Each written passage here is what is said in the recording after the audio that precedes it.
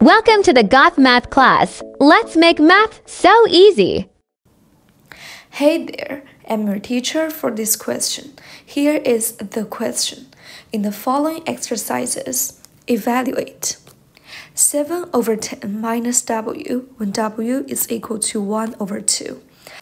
So this question wants us to calculate for the whole equation with w equals to 1 over 2. For this question, there are three steps.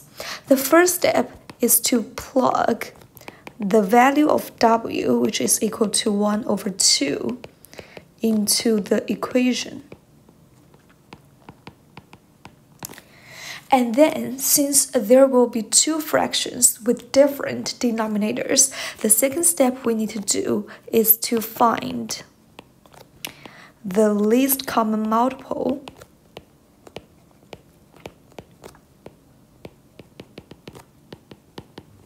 of denominators.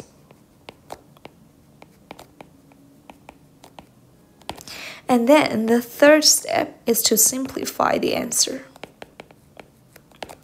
Now you have got enough idea to solve this question. If you like, pause the video and try by yourself. Now let's solve this question step by step.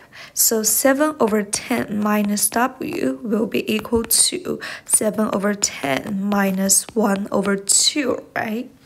And since the least common multiple of 10 and 2 is 10, right? Because 2 times 5 equals to 10.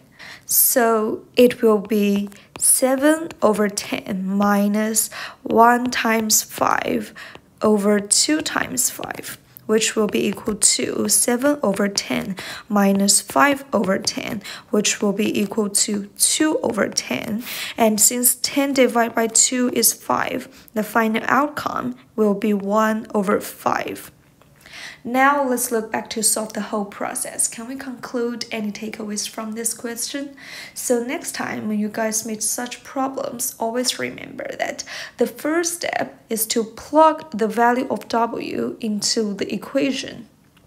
And then, if the two fractions in the equation have different denominators, we need to find the least common multiple of those denominators. And the last step for us is to simplify the answer we have got. Now we're done with this question. Thank you.